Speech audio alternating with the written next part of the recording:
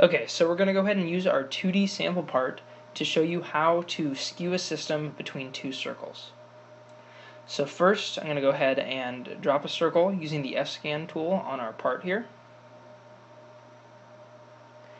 And once I've done that and adjusted my search zone, I am going to go ahead and create a system.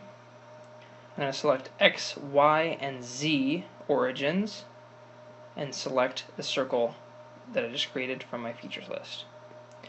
I'm now going to create a second circle, so I'm going to go ahead and drive over, find a second circle on my part, and again using the F-scan tool I'm going to drop a second circle.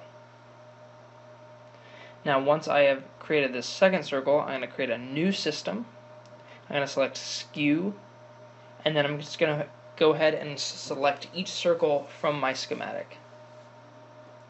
And now my system is skewed between those two circles.